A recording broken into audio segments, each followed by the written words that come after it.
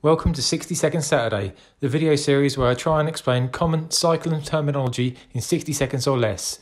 So if you're a beginner cyclist, or perhaps you're a more experienced one and just afraid to ask, please consider subscribing to the channel. Today we look at gravel bikes.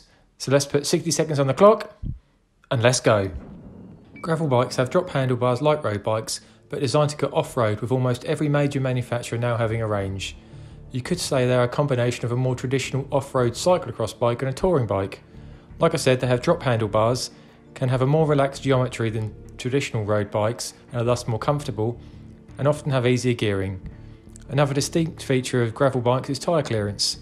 Many of the new gravel bikes have space within the frame to allow for a much bigger tyre than used on normal road bikes.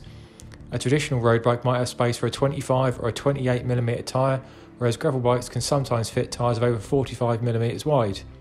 These make them much more like mountain bike tyres than road bike ones.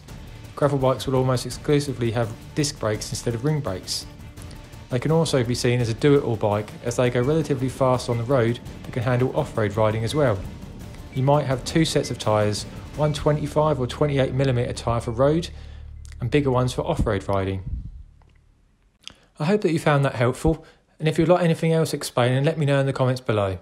So I'll thank you guys for watching, and I'll see you next time.